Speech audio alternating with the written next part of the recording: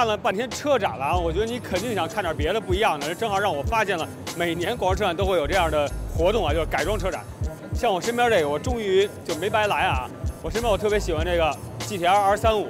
像这个车是上了一个 Liberty Walk 这 LB 的一个宽体，配了一个 Rolled Foam 的一个圈。那这个车涂装真的太帅了，我觉得，就是你觉得它哪儿都帅，完了配了一个特别大的一个尾翼啊。那这个车其实我觉得是可能是全场里面应该是，呃最帅的一个 GTR 了。那还有其他的车型，一会儿咱们一块儿逛一逛啊。保尔桑这车轮毂应该会比这台车都贵，现在。现在上了一个导流板啊，是 BBS 出的一个导流导流用的导流板，完了专门装在这个 BBS RS 上面的。然后这个轮毂呢是那种非常小的十五寸的一个轮毂，但是这个轮毂应该三片加上金钉，估计给合个三万来块钱。现在这套圈，那如果市值这台车的二手车的保值率来说，那肯定这个要圈要比车贵。而且这个车细节做的也挺好，里面用了一个九九三之前老款座椅的一个桶型座椅，完了配了一个桃木的一个方向盘。那这车真的还挺帅，一个祖母绿的颜色。那往这边咱们再看看，这个我我个人来说啊，其实我可能不太能欣赏得来啊，因为我也是刚刚买了一个易酷配的一个车型，但是可能你要让我玩走这路线，我可能真走不了，走不了。这可能是一太竞技的一个一个易酷配，然后它是一个宽体的这么一个设计，后面配了一个 GT 的一个特别大的尾翼啊。那其实我身高一米七九，这个尾翼真的特别大感觉，而且这个有一个尖儿啊，这个太夸张了是。但是黑色其实还是挺凶的，但是这是一个呃老款的一个翼虎配的一个车型。这台车大家知道什么车吗？因为前两天我写过，这个车好像就是你第一眼感觉它好像像一个保时捷或者一个 Boxster、一个 Cayman 什么的，但实际上它是叫 M2，是丰田早期出的一款俩门的跑车。然后这个车其实外观来说啊，就本身很小巧，车身也很短小，但是它配了一个阿德万 GT 的一个一个轮毂，这个轮毂其实是。很难找的样式了。之前一直我有看过装在斯巴鲁啊，无论是八代九代上面都会装那个车上。现在装这上面还挺竞技的。这个座椅，当然这个肯定是为了这个改装才用的啊。但是我觉得如果你冬天这个座椅放在北京，是不是太冻屁股了？这个，而且特别小，就是一个铁板的座椅。然后它会把空气悬挂气泵呢安排在这里，这是有一个气泵，然后里面通过它的这个控制器去调节车上的高低。这车呢，刚才我有问过啊，大家可能以为它是一个 Evo，但是它实际上不是，它是一台凌帅去改的这么一个车型。但其实这个车还挺帅，它是一个6.5代的一个 EVO 啊，就改的一个样子，而配了一个 Marble 的一个万宝路的一个涂装。这个车其实给我感觉就挺焕然一新的，因为我还是觉得老的这种高力 M 其实是更有情怀、更有品味的。这个车呢是我一个朋友的啊，完这个车就刚才我们也聊一聊，他比较喜欢粉色，其实跟我一样，也比较喜欢这种 pink 比较骚的这种颜色啊。它这个甲壳虫做了一个无标的设计啊，包括也用了一个呃空气的悬挂，然后它里面会有两个这个这个小人儿我不太懂，这个小人好像是一个什么什么比较科幻概念的这么一个像奥特曼似的小人儿啊，完里面会有一些细节。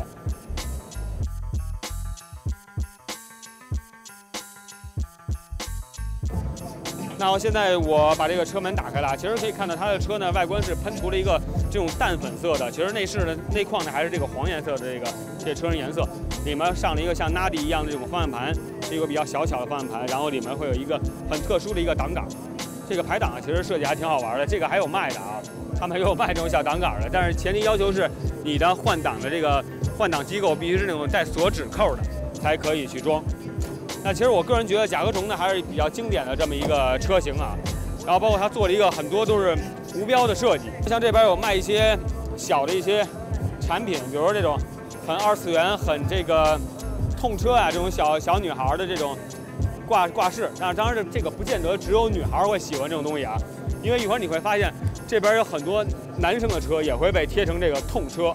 那所谓痛车呢，其实就是呃日本之前比较流行这种把漫画。相当于画到车上的这种感觉，喷涂或者贴在车上的感觉，哎，比如这种。当然，我对漫画其实没有特别多的了解啊，但是这个还挺帅的吧，压格。然后会上的是那种日本比较经典的漫画系列的东西，然后放到车内。那包括你身边这台车，这个车是一个 RS3。那大家可以看到 RS3 这个车型完贴了一个痛车的这个设计，这个样式，还挺好看的，是吧？反正反正给我感觉比较个性，很多不光是小女孩喜欢，现在看来男孩男生其实也一样喜欢这种痛车。捷豹的一个 XJ，那这个车呢，其实也是采用了一个空气悬挂的一个底盘升降的这么一个功能。然后还有一个就是它使了一个宾利的一个轮毂啊。那之前我那台奔驰 E 酷配也使了一个宾利的轮毂，小米姐还有发过那个照片。大家其实都不太明白为什么会，你不是这个车型为什么要上一个宾利的轮毂？其实这一点呢，是你可能有所不知啊。因为玩改装车呢，一般喜欢混搭，他觉得就是这个车型配一个宾利，比如说还有很多其他车型会配一些兰博啊，或者是比如说法拉利的轮毂都有可能。阿尔法是一个最新款的阿尔法，当然这个车还是一个港规车型，是一个右舵的右舵的一个港规车型，然后也是使用一个空气悬挂，配了一个 SSR 的一个轮毂。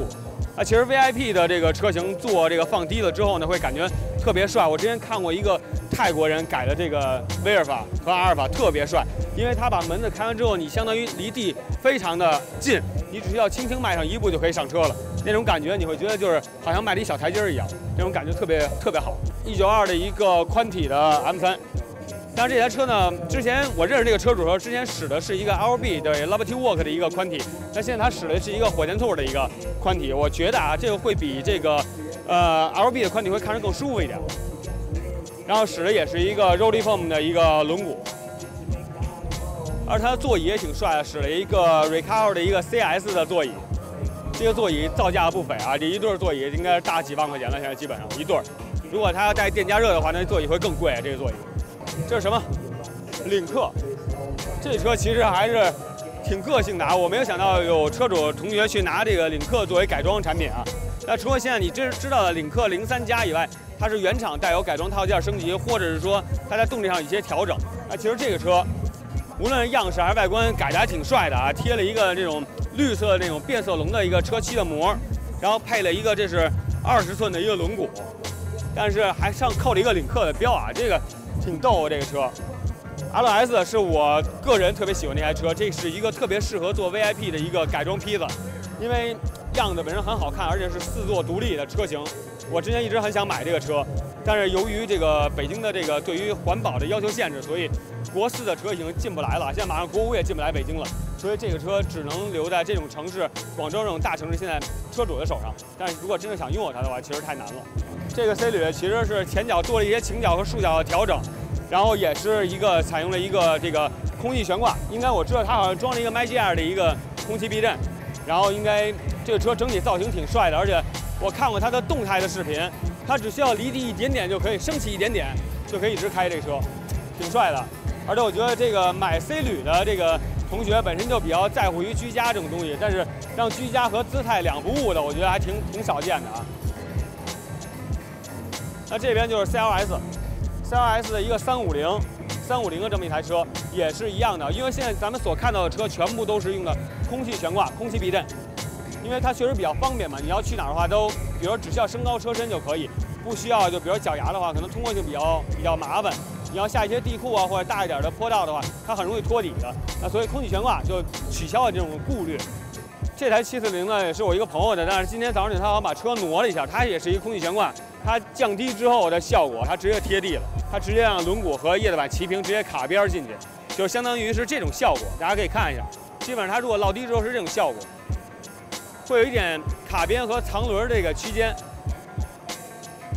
还是挺帅的啊，真的。那改装车呢，基本上就有这么多。那这个展馆呢是十点三馆，这个馆里全部都是以改装车为主，包括卖一些改装件啊，包括什么平衡杆啊、座椅啊、什么排气啊，在这边。那这边都是一些呃大家的车友自发组织来的，完了报名参加参展。那这个车展改装车展这块，我就跟大家介绍到这儿。